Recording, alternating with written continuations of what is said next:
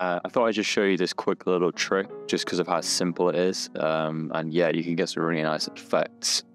So essentially, it's a circle with circles instance on that circle and then kind of just twist it about. And that's literally the entire thing. So, you know, if we add a mesh circle here, so uh, if we just drop in a plane and then we can add a mesh or we just create a new group input, delete that, create a mesh circle. And these are essentially our points that we can uh, instance our circles on. So if we now add an instance on points node, drop that in there, and then drop in a curve circle like that, just that, uh, we can just drop that on the instance. I'm going to see what we get. We get this beautiful little spiral thing, which is what we're looking for, but we want a lot more. So I'm going to add 2000 of them.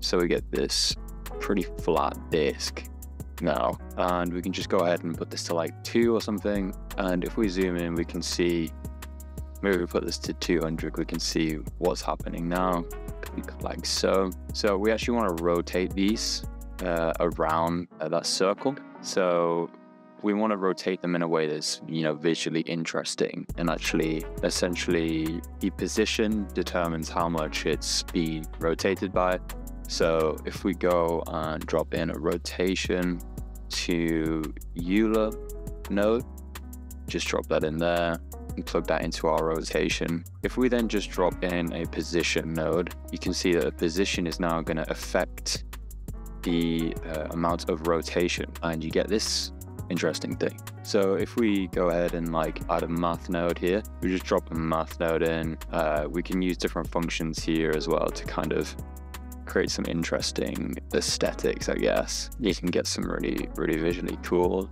things. Uh, I'm just going to drop in a divide and just kind of divide this by 0.2. Okay, so we have our circle uh, and it's being rotated in quite a visually interesting way, but we obviously can't actually see these. So we just need to essentially create a profile curve. So we do this by going curve to mesh like so. And then we've got this profile curve node. So we can add another curved circle. So if we drop this curved circle in here, you can see we then wrap a circle around those points. So we just dropped it by something like 0.05. We can see how that looked and it's kind of cool. And made this like 0.5. So if we drop in a material now, so set material, drop that in there, select that, we're then going to right click down here and just create another section for our shader node. And we're going to select our default material, which is what we just selected there. I'm going to delete our principled and just add a mixed shader because we're essentially going to combine two different shaders together. One that's an emissive surface, like so, and then one that's a transparent, which is going to give us that translucent effect, like so. So if we drop that in there like that, and then just plug that up maybe we can also set our world's color to maybe black so we get a better idea of how this looks. And yeah, that's kind of where we're at. We can increase this by something like 2000 and increasing this to maybe 128 and make that, yeah, make that like 64. And we can just increase that as well to something like that maybe.